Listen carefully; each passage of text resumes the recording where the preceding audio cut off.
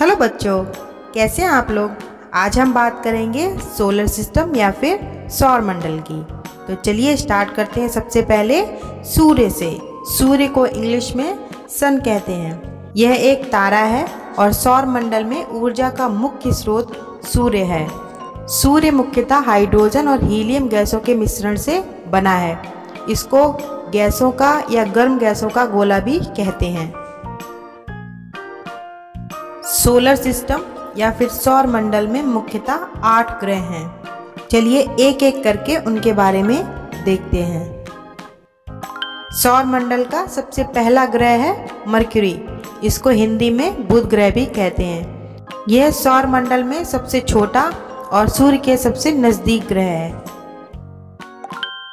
दूसरा ग्रह है वीनस। इसको हिंदी में शुक्र ग्रह भी कहते हैं। यह सूर्य से दूसरा ग्रह है। आकार और द्रव्यमान में ये पृथ्वी के समान है, इसीलिए इसको पृथ्वी की बहन भी कहते हैं। यह सौर मंडल का सबसे गर्म ग्रह है, क्योंकि इस ग्रह पर कार्बन डाइऑक्साइड की उपस्थिति के कारण यह गर्मी को अपनी तरफ़ खींचता है।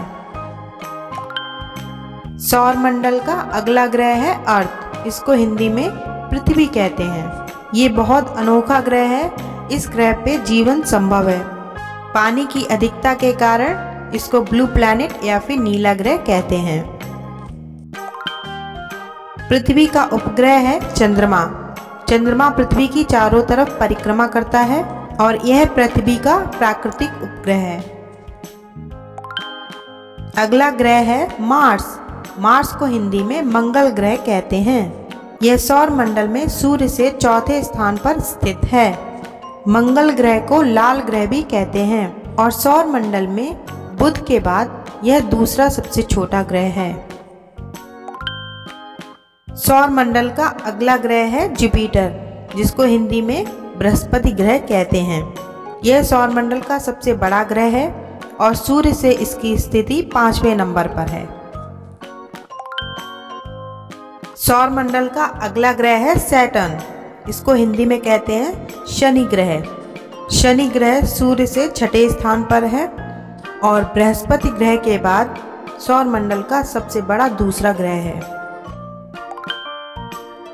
चलिए बढ़ते हैं अगले ग्रह की तरफ़। सौर मंडल का अगला ग्रह है यूरेनस। यूरेनस को हिंदी में कहते हैं अरुण ग्रह। सौर मंडल का ये सातवां ग्रह है। ये व्यास के आधार पर तीसरा सबसे बड़ा और द्रव्यमान के आधार पर यह चौथा सबसे बड़ा ग्रह है। सौर मंडल का अगला ग्रह है नेपच्यून। नेपच्यून को हिंदी में कहते हैं वरुण ग्रह। इस ग्रह की स्थिति सूर्य से आठवें स्थान पर है। यह सौर मंडल का सबसे ठंडा ग्रह है, क्योंकि यह सूर्य से सबसे दूरी पर स्थित है।